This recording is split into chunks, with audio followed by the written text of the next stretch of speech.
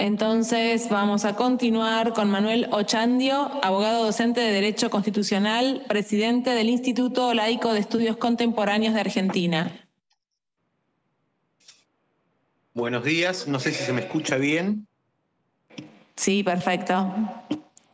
Muchas gracias. Bien, desde ILECA Argentina queremos agradecer obviamente a las diputadas que nos propusieron para poder participar del debate, igual que en 2018, pero vemos con absoluta preocupación, como ya lo plantearon algunas compañeras que me precedieron en el uso de la palabra, que este debate ya sobrepasó la dicotomía entre laicismo y clericalismo que planteamos en 2018,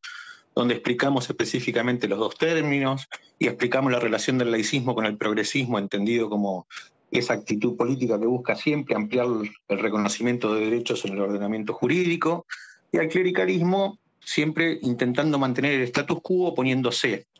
a ese reconocimiento de nuevos derechos. Sin embargo, vimos que luego del debate y durante el debate de 2018 pasaron algunas cosas muy graves que se están repitiendo ahora. Una cosa es el debate previo a la sanción de una norma, el debate axiológico previo a la sanción de una norma entre diferentes sectores que tienen distintas valoraciones en una sociedad, pero otra cosa muy distinta, como bien lo planteaban algunas compañeras precedentemente en el uso de la palabra, es cuando hay un Estado extranjero que directamente comienza a realizar una campaña de desinformación de manera masiva. Y así como la joven de 22 años se vería sorprendida porque hay organizaciones que supuestamente por sus declaraciones invierten muchísimo dinero en lograr el reconocimiento de este nuevo derecho y apoyar a la mujer argentina en su mayoría en el reconocimiento de este nuevo derecho, nosotros vemos con preocupación, y nosotras y nosotros desde ILEC vemos con preocupación, cómo el Estado Vaticano,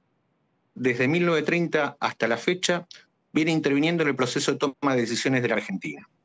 del Estado argentino. Espero que no, esperamos desde ILEC que no suceda lo que sucedió en 2018, donde se llegó a amenazar de muerte a hijas e hijos de diputadas y diputados nacionales. Esperemos que el domingo, si esto no se vota mañana en la Cámara de Diputados, desde las diferentes parroquias, no se empiece a hablar de la relación entre el catolicismo y la argentinidad como una característica de la nacionalidad argentina, el mito de la nación católica. Esperemos también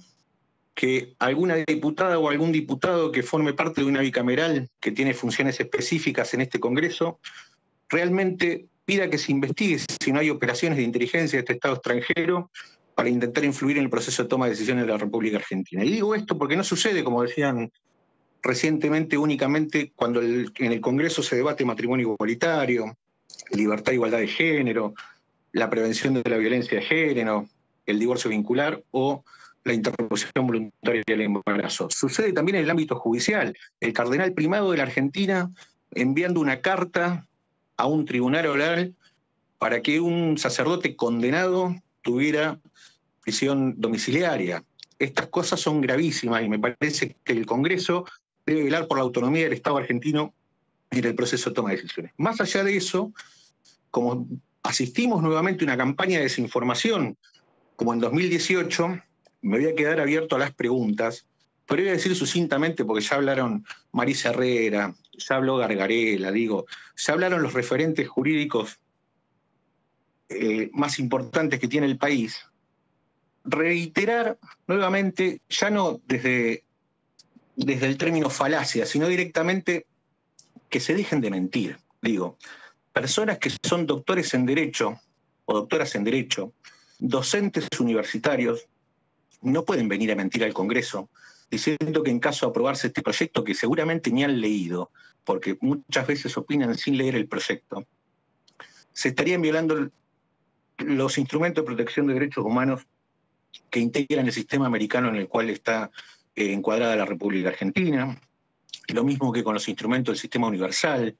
este, y ni hablar de la objeción de conciencia, y la objeción de conciencia institucional, una barbaridad jurídica, un disparate jurídico que habría que invitar a estas doctoras y doctores en Derecho, espero que no muchos sean docentes en Derecho Constitucional, a que lean la opinión consultiva 22 del 2016 de la Corte Interamericana de Derechos Humanos, donde la cuestión se aclaró, pero ya se había aclarado por el Tribunal Europeo de Derechos Humanos, o sea, la jurisprudencia internacional es unánime respecto al tema que la persona jurídica no se rige por la conciencia, no tiene conciencia, se gobierna por el consenso de sus órganos de gobierno, pero además no tiene valores, tiene un objeto social que el Estado, por cual el Estado la autoriza a funcionar, en el cual se pueden poner algunos principios, pero que esos principios en la práctica no pueden ir en contra de la autonomía personal de las personas que la integran. Pero aún en una comisión directiva de una persona jurídica en la cual por unanimidad se tomara una decisión, y esta es una cuestión no del derecho, sino de la psicología y la comunicación social, está comprobado que existe este fenómeno de la espiral del silencio, donde seguramente alguna de las personas que integran esa comisión directiva no va a querer contradecir a la mayoría para no ser excluido, y no ser excluido formalmente, digamos,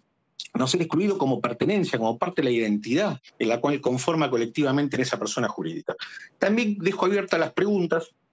para profundizar este tema, pero lo que pedimos, por favor, desde ILEC, es que realmente algunas diputadas y algunos diputados que formen parte de la bicameral específica, que no voy a nombrar para no traer palabras que suenan desagradables en época de democracia, pero que existen y son necesarias para que el Estado tenga diagnósticos, tenga información y pueda tomar las decisiones correctas, ver realmente si al Estado Vaticano formalmente se le puede pedir este, que deje de intervenir el proceso de toma de decisiones en nuestro Estado. Sobre todo teniendo en cuenta que existe un artículo 2 de la Constitución Nacional que no pudo ser tocado, no porque existan cláusulas pétreas, sino porque en los consensos de la reforma del 94, los primeros 33 artículos este, se decidió que no se iban a reformar, pero que debe ser reglamentado también, porque todos los argentinos y todas las argentinas, con nuestros impuestos, estamos sosteniendo y financiando no a la Iglesia Católica Apostólica Romana, sino al Estado Vaticano directamente que utiliza a sus ministros religiosos para este tipo de situaciones, para este tipo de campañas de desinformación y para este tipo de campañas mediante las cuales, reitero, intenta influir en el proceso de toma de decisiones en nuestro país, afectando seriamente a quien le guste la palabra autonomía o soberanía en particular. Y está desesperado el Estado Vaticano porque está perdiendo uno de los principales territorios simbólicos de su propio relato identitario, que es el cuerpo de la mujer. Y en ese marco, agradecer la lucha de las mujeres argentinas que están a favor de conseguir este derecho, porque gracias a ellas podemos volver a discutir estas situaciones. Desde la década del 30, con el primer golpe de Estado apoyado por el Estado Vaticano para instaurar un corporativismo Estado en la Argentina, venimos sufriendo todas y todos. Voy a, hacer, voy a terminar con esto. Es, reiterando que es mentira, es no es una falacia, es una mentira parte de esta campaña de desinformación, este proyecto, en caso de ser ley, contradiga los instrumentos incorporados en la Constitución Nacional. Basta simplemente con ver no solo las opiniones consultivas, sino los informes de los comités de la ONU, es decir, basta con ver lo que dicen los organismos internacionales que velan por la vigencia de esos instrumentos. Es todo y muchas gracias. Muchas gracias.